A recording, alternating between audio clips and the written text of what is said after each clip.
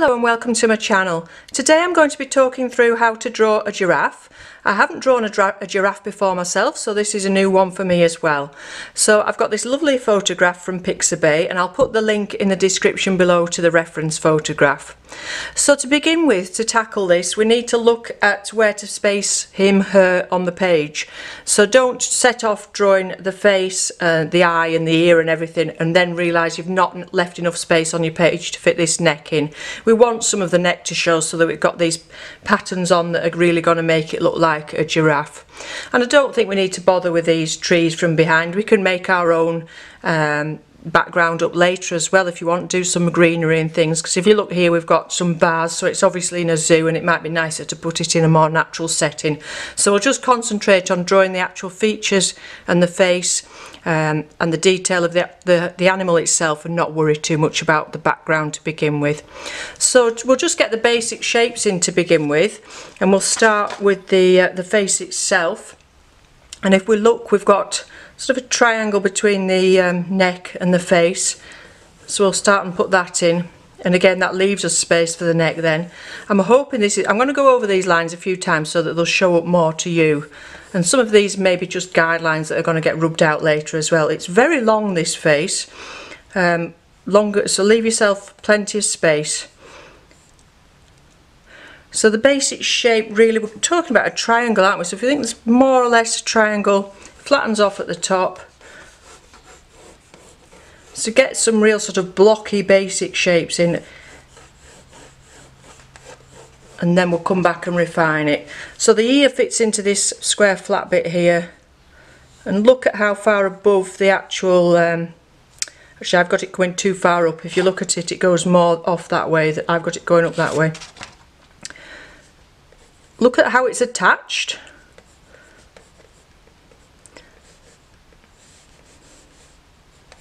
And then look at the shape of where it's attached there. And again we can refine this a bit later. So that's the the hair on the inside of the ear as well.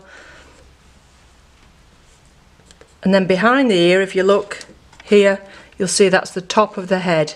So now we're starting to look at some finer detail and where things lie and these horns again if you look across from them they go slightly taller than the um, ear but not much.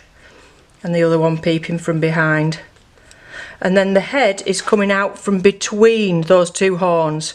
So make sure you've got that right that you're coming out from between them and not in front of one or the other. So the back one just take that line out and then that's more obvious. I'll go over this in a pen with a pen in a moment to once I've put the detail in so look at where things compare to each other at the moment perhaps got this ear a little bit big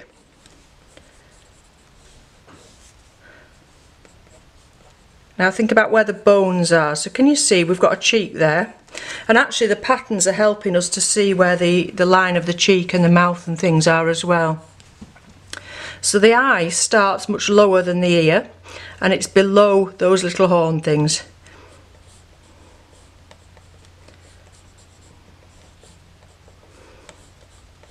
And it's important that you get the eye socket in as well as the eye. So if you look there, you can see the shape made by that uh, bone of the eye socket. And this is the eye socket of the other side actually. Can you see here? If you look carefully at the photograph this bump here is the, the eye socket from the other side of the giraffe. So not putting its markings in at the moment I'm just looking at the shapes.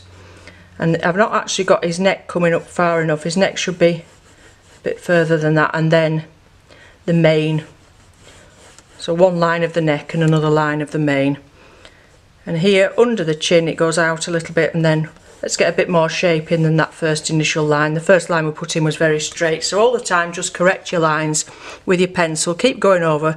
Keep it very sketchy because afterwards we can rub out the lines that are wrong and keep the lines that we like. So with his nose that's very round on the end so don't have it pointy it's very round and very crinkly here if you look as well very soft on the top of his nose where he's got sort of smooth hair and he's all crinkled up here. There's a few lines and then a nostril. So look at the size of the nostril compared to the size of the eye and you know compare things all the time to see what size they should be. I think we're not too bad at that. It's uh, perhaps a little bit narrow here. If you look there from the eye down. Actually not too bad, it's similar from there to there as it is from there to there, so that's probably about right. So just before you go and put your pen on or you do your, your watercolour or whatever you're fancying doing, just check those measurements, see which ones are similar, so that measurement there is similar to that there and things like that. Just keep comparing it. Perhaps I've not gone as steep enough here. Can you see um, how steep that eye socket is? Where it comes out from there. I think it comes out a little bit lower then round sort that out with a pen okay so I'm now going to go and get a pen and then we'll carry on and do a little bit more detail okay so now I've got a pen we can come and start putting some more detail in so if some of those pencil lines are wrong when you start doing your pen just make sure that you you alter them at this stage. Don't be fastened to that pencil drawing that you've done because the more we look at a subject or a photograph, the more we see. And you might think, oh, I've just got that line slightly wrong, so correct it with your pen. So that's a good thing. You're sort of drawing it twice in a way, so you're thinking about things twice, and that way you get quite a, a much more accurate drawing as well. So I'll start up here and looking at it is perhaps a little bit lower down that line than I've got it. So again, I'll uh, pop that there. And can you see all these little spiky bits of hair? that are going off the back. So now you can start and put some extra details in that you haven't got. I've got quite a thick pen. Um, it's a 1.5, so thicker than I normally work with, but I want it to be quite a, a strong picture.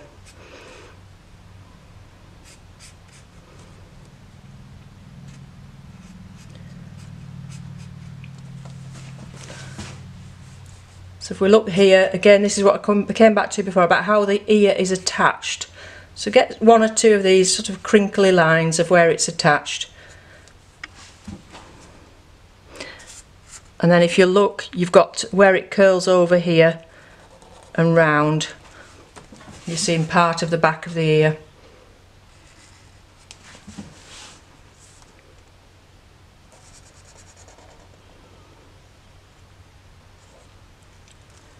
So we're seeing the inside more there. And of course when we come to put some watercolour on, we can make that darker inside the ear.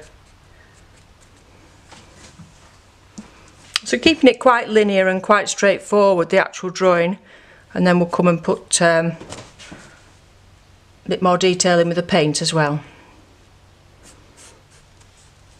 So of course once you've got done it with pen you're not going to be able to correct it so you need to be quite sure of where you're going with those lines. But of course as I've said before with other subjects it doesn't matter if it's this particular giraffe as long as it looks like a giraffe you know. If, if you're not exactly like the photograph don't worry. The person that uh, is looking at your painting later on isn't necessarily going to have a picture like the picture in front of them. So um, they're just going to see a giraffe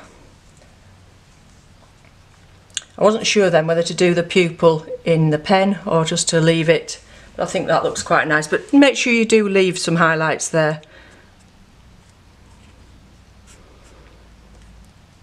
Again, we've got those crinkles. So you'll see I'm not actually putting the uh, markings in yet. I think I will do those with, with the paint. In fact, what we could do is use a resist, a wax resist for the white parts. So perhaps we'll do that. And then the gingery, I think you call it ginger, wouldn't you? The gingery parts will do with paint.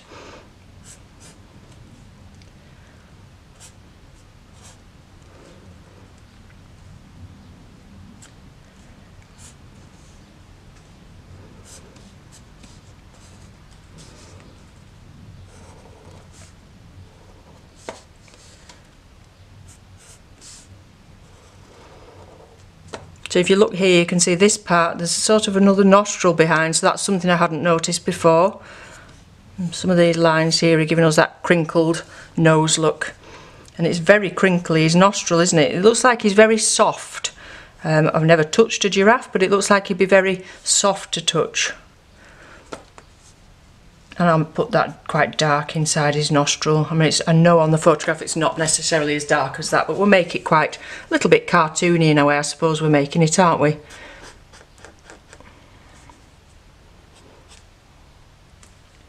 And then we've got lots of uh, hairs coming off here, little bits of whiskers, some whiskers here.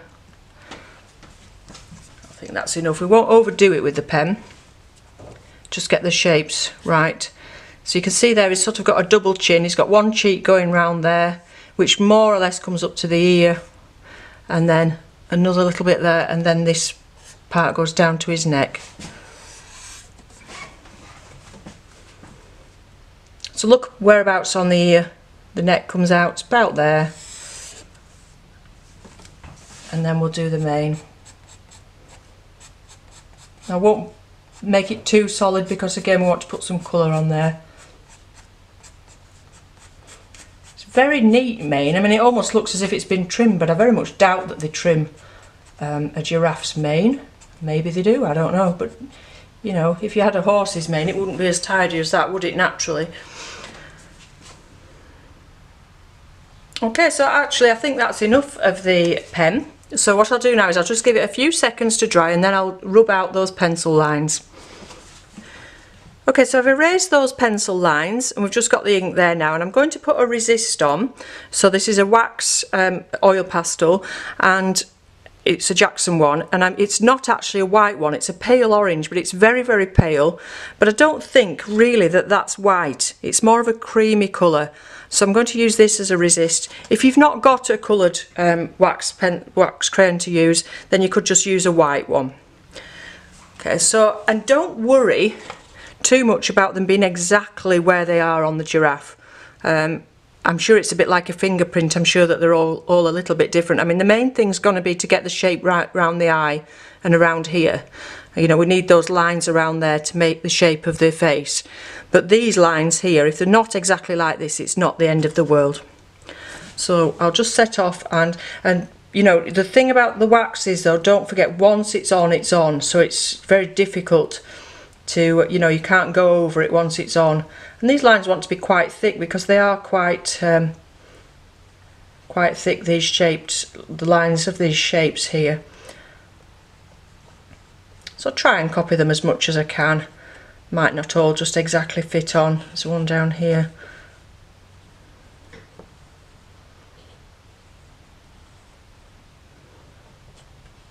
They sort of make little squares really, don't they, the shapes? Just make them make them nice and thick, like I say.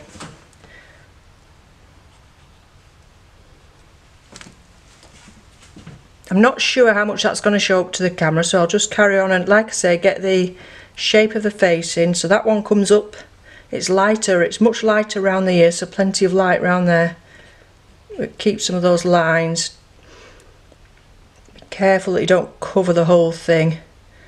These um, hairs are quite light and it's light on the inside of his ear there but further in it's much darker so we'll just put a little bit on there. And into here. And then we must get it light above his eye there. I'm saying he, it might be a she, I don't know. Anything about giraffes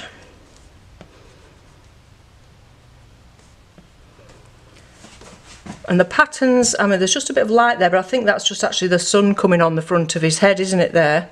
So just a little bit of light. The patterns up here are much much smaller so try and use the edge or one of you know try and make a, an edge on your crayon and use an edge if you can and get some smaller.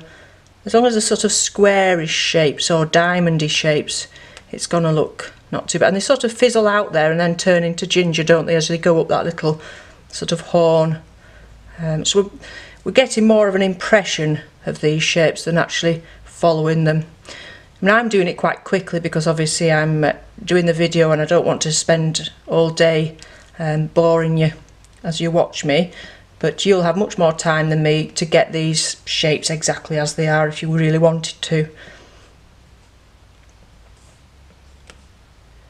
And it's quite a bit lighter underneath the mouth there and then they come bigger again. So they're small around the eye and the ear and then further down here the shapes are much more open and big. And actually they're fading out a little bit here. Can you see? So what I'm doing now is not putting as much pressure on this crayon. I'm just doing some very light lines here. A little bit of light there. And then he's got some light on the end of his nose. Again, this is sunshine on his face, not necessarily pattern.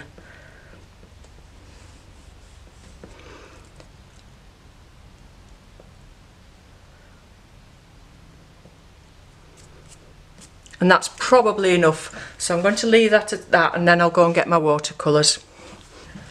Okay so I've decided to go quite bright and use um, the cadmium colours. If you wanted him to be more natural you could use more the earth colours. So I'm using um, cadmium yellow cadmium yellow mixed with cadmium orange and then for the darker colour this is burnt sienna mixed with ultramarine and that's a slightly thicker version of that one. Now if you wanted him to look like he does on the photograph, very natural colours, go for a yellow ochre underneath or a raw sienna and then go for a burnt sienna on the top. Um, so I just wanted him to be nice and bright so I've used these much brighter colours. So to begin with I'm going to wet the whole giraffe including his mane just with clear water. And of course the paint is not going to stick to this wax resist. So just make sure it's all covered but don't go into the background. Be careful that you've got a nice pointed brush that you can keep the water within those ink lines. So although this is quite a big brush it comes to a nice point so you can be accurate with it. Don't go over his eye actually, keep his eye dry for now. We don't want any yellow or orange in his eye.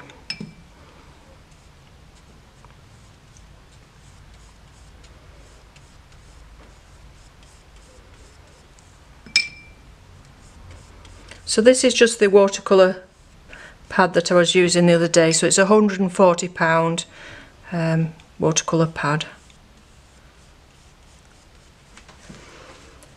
So the first mixture is quite a thin mixture of cadmium yellow and I'm just going to put that everywhere. Over his mane.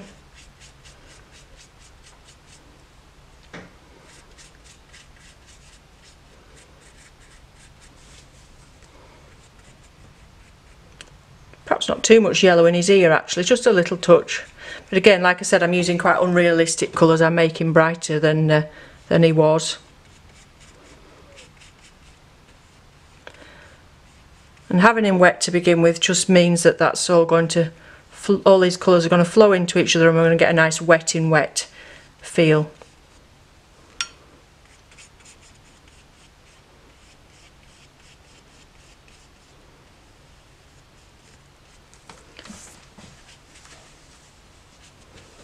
okay and then we're going to go over with some of the orange and I'm going to leave some bits of yellow. So if you look at him now look at where he's lighter. So if you look on his mane his mane's darker at one side and lighter at the other. So the areas that are lightest leave more yellow there.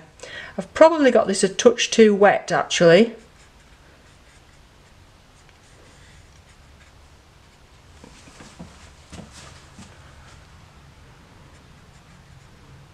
So just drop the colours into each other and let them mix on the paper.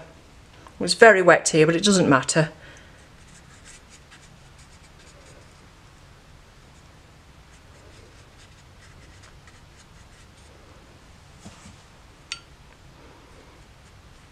So the good thing about the wax resist is we now don't really have to worry about painting at all. We're just dropping colours on, having a bit of fun dropping them into the water.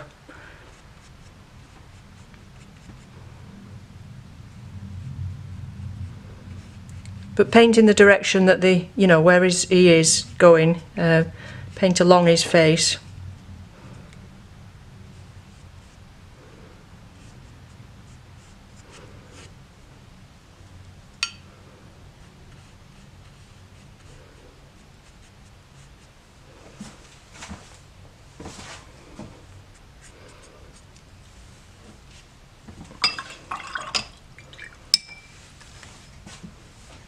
then the darker colour. Look where is darker where there's a bit more shadow. And just put the shadow in and we can keep doing this and we can keep coming back. And putting extra in. A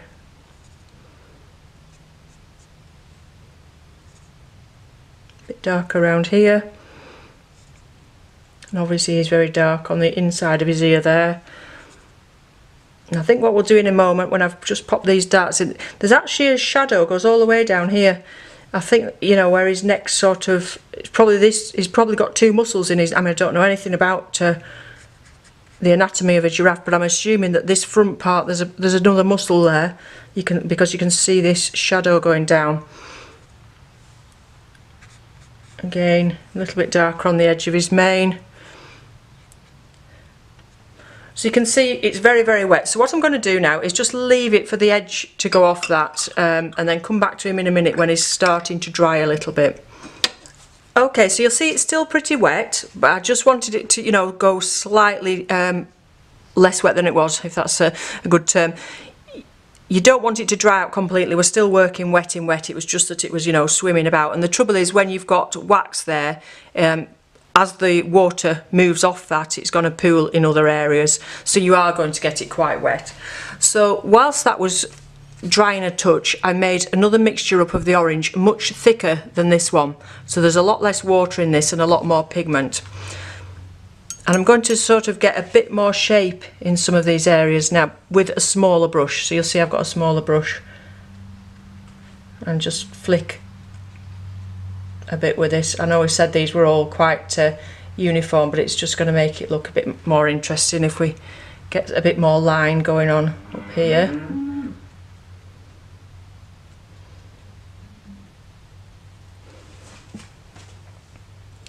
There's not much orange at all in his ear, is there? It's more of that, just that creamy colour. So let's just look where it's most orange. Very orange on these parts here and this is quite heavily coloured down here going around his eye. And again we're going to reinforce some of those shapes.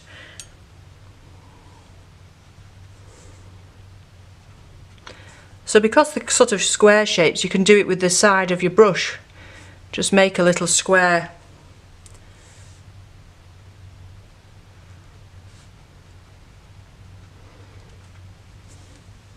And because it's not dry those colours are still going to mix together. So under here you'll see it's quite dark isn't it? There's quite a bit of colour under there on this side of his nose. Don't forget with your watercolours that they're going to dry lighter. So we do need plenty of colour on.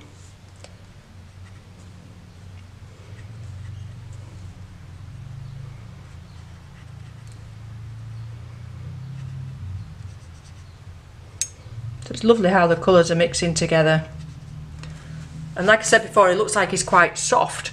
Um, so I think having those colours mixing together is helping with that. That's all running to that side can you see because the paper's starting to because it's only a cheap pad and not um, an expensive paper. Although I've got it taped at the end it's starting to flow that way. So we can soon correct that just pull it off pull it back a bit and tidy up that edge So now let's look at where it's really dark um, and I've got this thicker mixture of the dark colour. Again you'll have more time than me to, to do this and you know you could perhaps tape your paper all the way around and then you're not having that problem of it going over the edge there. So one of the darkest areas really is in the middle of his ear.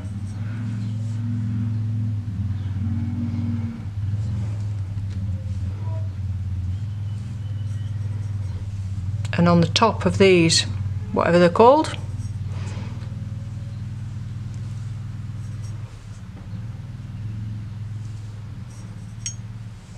A few of these little hairs here are a bit darker and there's a bit of shadow going on around about here shaping that ear and the top of his head. So again follow some of the lines down to make more of a shape Can you see how we've got a darker place there? Again, some of these lines, these wrinkles that are coming up here, a little bit of that shadow there, and underneath his nostril.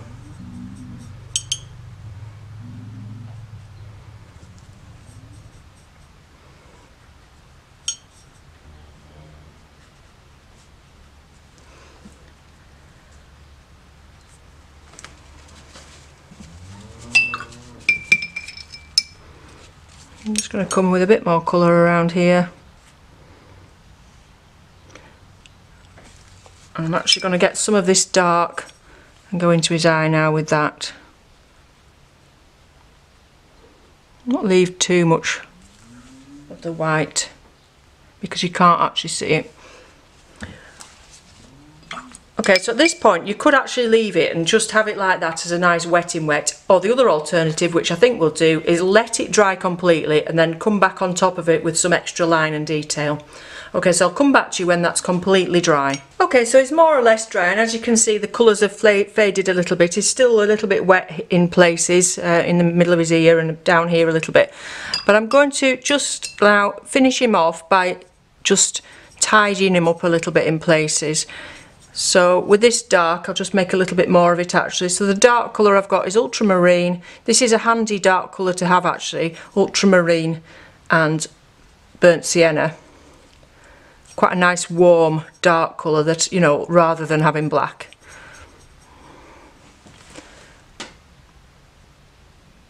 so in just one or two places we'll just define some of the shapes because these are very dark up here and sort of round so make that a bit round and we'll just come in and tidy up his eye a little bit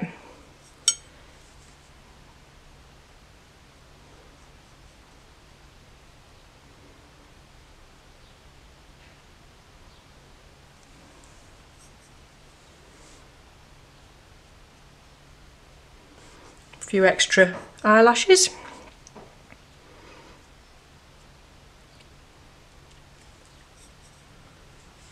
Some extra shadow under here.